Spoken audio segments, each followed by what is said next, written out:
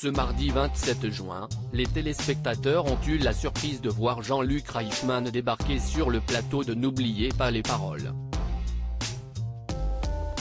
Accompagné d'une fan du jeu de France 2, le présentateur des 12 coups de midi a fait une belle déclaration à Nagui. Il y a plusieurs jours, Jean-Luc Reichmann a fait une annonce inattendue.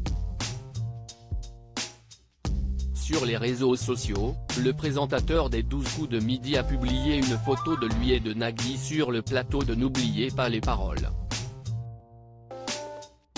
Après 35 ans d'amitié, surprise totale pour Nagui.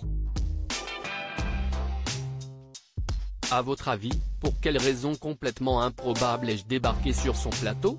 A-t-il écrit en légende de son cliché qui a suscité l'interrogation des internautes?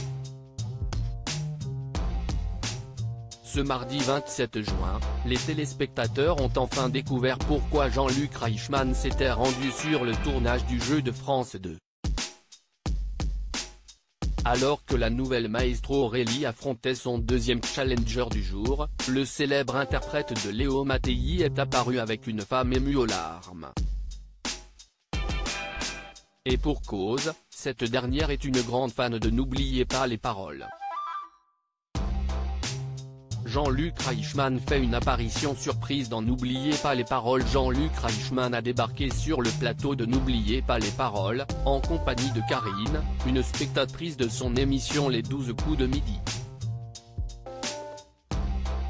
Je voulais juste te dire que nous sommes en train de tourner sur le plateau mitoyen et Karine, qui est ici, est dans le public. Elle accompagne un lycée agricole dans l'Aisne et je lui ai demandé si elle avait déjà assisté à une émission de télévision. Elle m'a dit, non, c'est la première fois.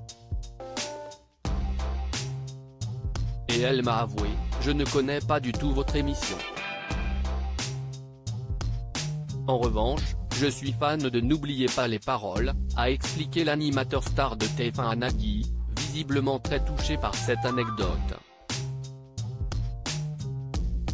La belle déclaration de Jean-Luc Reichmann à Nagui après avoir chanté un célèbre tube de Johnny Hallyday en compagnie des Icos, Jean-Luc Reichmann a ensuite fait une belle déclaration à Nagui, qu'il connaît depuis plus de 30 ans.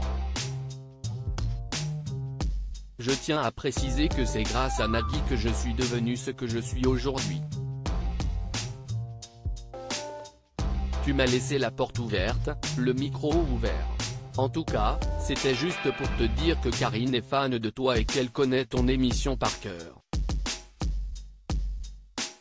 Et je voulais aussi te remercier.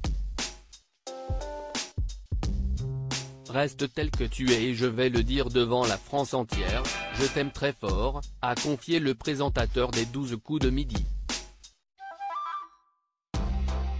Visiblement très intimidée par Nagui, qui l'a prise dans ses bras, Karine a quant à elle promis qu'elle assistait à un tournage de N'oubliez pas les paroles avec les élèves de son lycée agricole.